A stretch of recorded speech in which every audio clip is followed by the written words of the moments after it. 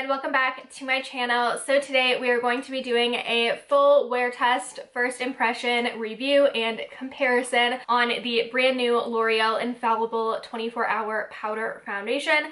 This has been going crazy on the internet, on TikTok. If you have TikTok, people are raving about this and I am a powder foundation lover. I absolutely adore my MAC Studio Fix powder. So I figured we could do a full wear test on this and then do a comparison with the MAC Studio Fix. So we are going to be doing a full split down the middle testing the new L'Oreal foundation against the MAC Studio Fix. So if you are interested in seeing my review on the new one, one as well as a full day wear test, then just keep on watching. We are going to read the product claims first to see what we are basing our judgment of the foundation on. So as I said, this is the brand new L'Oreal Infallible 24 Hour Wear in a powder foundation, waterproof matte finish.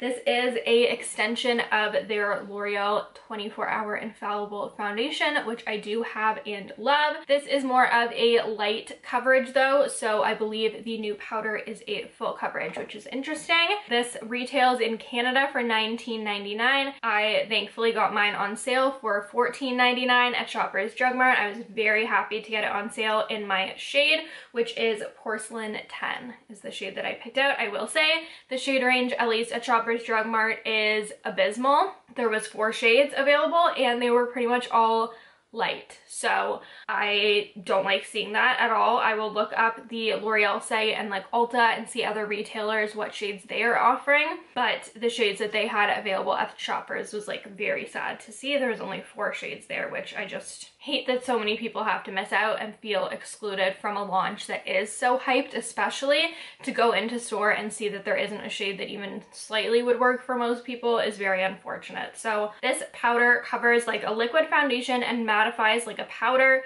It provides full coverage with a natural matte finish. The end result will blur, even, and smooth skin without it looking cakey Weightless, creamy texture fuses with skin upon application. Color remains true throughout the day without drying or fading. Matte finish for up to 24 hours, suitable for all skin types, oily and acne prone skin. Acne prone skin.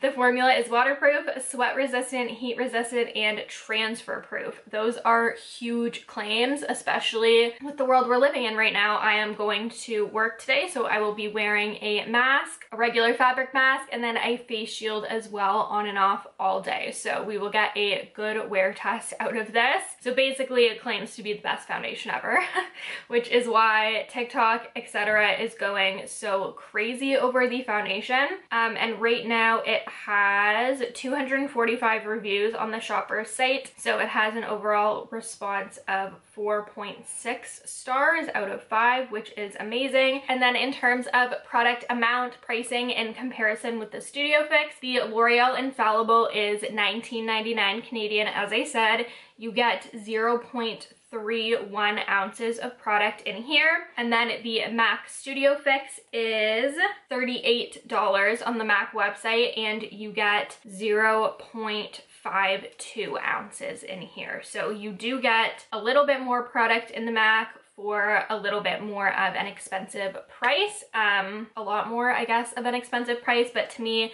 the L'Oreal Infallible is still a very, very expensive product for the drugstore. Um, so I was very happy that I purchased mine on sale. That's probably the only time I could justify doing that unless I really do like this. Here we have the MAC Studio Fix, which you can tell is slightly lighter and then a little more neutral, whereas the L'Oreal is probably a half shade darker and a little bit more yellow. And again, this is NC15 versus Porcelain number 10. I have already gone ahead with my cleanser and moisturizer about like 20 minutes ago. So now I'm going to go in and prep my skin with my Smashbox Photo Finish Primerizer. This is my favorite primer to use when I'm testing out a new foundation because it doesn't alter my skin in any way. It doesn't smooth, it doesn't blur. It's not going to impact the way a foundation really looks or performs. It's just going to add extra moisture to my skin, which I personally need or prefer because I have incredibly dry skin. So I'm just going in with a decent amount of this because I have super dry skin. um, to make sure that we are nice and prepped beforehand. This does leave a tiny, tiny bit of a tacky finish to it. Not anything tacky like the Milk Gripping Primer. It's like a super, super slight tackiness. And I did think about adding like concealer or a little bit of foundation underneath, but I really do want to see how the powders perform just on their own, especially because I have a lot of breakouts right now. So I thought that would just be interesting to compare them fully on their own. So I'm gonna do my MAC Studio Fix on the side of my face that doesn't have a lot of problems because I just know it'll be fine there and I don't really need to test the coverage because I know what it's like, you know? And then I'm going to do my Infallible on the side of my face that has a ton of breakouts. All right, so we're gonna start out with my MAC Studio Fix, but I am going to use this little applicator for both of the foundations, just so that it's super even. I'm gonna use one on one side and one on the other. All right, so I've smeared a good amount in there, and I'm just going to wipe it on like so. That's kind of how I've seen the people people on TikTok doing it. Um, and you can see right away how crazy good that coverage is. So I'm just to go ahead from there and pat it in. I will also say that pretty much everyone that I've seen applying this foundation has pretty flawless skin. So I thought that it would be very interesting to try it on myself who is very dry, acne prone, somewhat textured skin from the acne because typically powders aren't going to apply as well on someone with textured skin or dry skin or acne. So I figured I was the perfect test subject for this one. Not that I'm trying to dupe it in any way because I don't think I'll ever not purchase the MAC Studio Fix. I just love it so much, but I just wanted to see how they compare. That there is how I'm going to leave the MAC Studio Fix side for now. I think it looks really nice, very smooth, a little bit airbrush. The coverage is good. Granted, I don't need that much coverage on this side, but I think it looks really good. So now let's go ahead and go in with the L'Oreal Fresh Wear. I'm nervous about this, mostly for the shade, to be honest. I'm scared it's gonna be really, really yellow on me. All right, so this is how it's looking. I'm so nervous. Definitely looks pretty yellow not blending out as well as the MAC Studio Fix. You saw with the MAC one, I did the same thing. Just kind of swiped it down and then patted it in to kind of blur and buff it into the skin. But it's kind of sitting where I first applied it. Really don't like how it's looking so far. It's definitely clinging to where I first applied it really, really badly. And it's not smoothing out like the MAC side did. So I'm going to switch over to a brush and see if we can like buff and distribute a little bit better with the brush. And for the brush, I grabbed my e.l.f. Ultimate Blending Brush, which is a really nice one to use for powder foundations. I'm liking it a lot more with the brush used to apply. I think that is definitely the move with this one. I am still seeing a little bit where the foundation very first stuck, but I don't think I'm going to be able to get rid of that. Um, so I'm just going to move on to the forehead. I've now gone ahead and buffed in the foundation on both sides how I feel like looks best.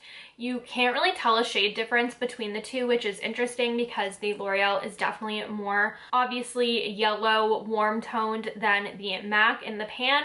But on the skin, you can't really tell a shade difference between the two. Um, if you do purchase this foundation and you also have the e.l.f. e.l.f. Ultimate Blending Sponge. I definitely think it's the best way to apply this. It looks so, so much nicer with it applied with the brush versus the sponge. So highly recommend just using a brush to buff it in. I think it looks really nice considering I have so much acne here as well.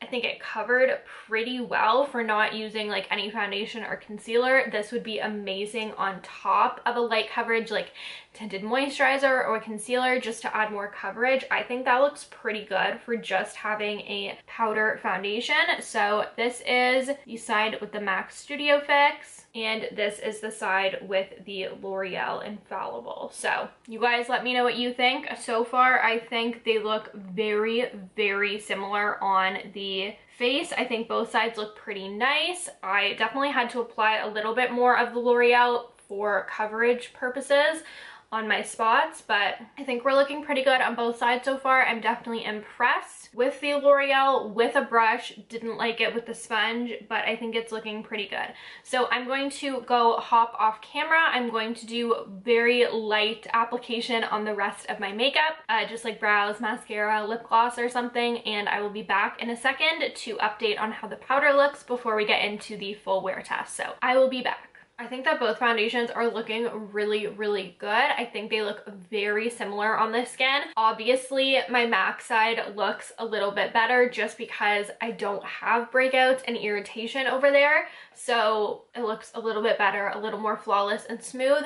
But for a powder foundation, I think the coverage on this side is really, really nice, even though I do have all of the breakouts there. But for the everyday person who doesn't have breakouts, or even if you do and who don't want like full, full coverage, this is really nice, especially with masks on right now. Like my mask is gonna cover all this. So I'm gonna look pretty like flawless and put together as is.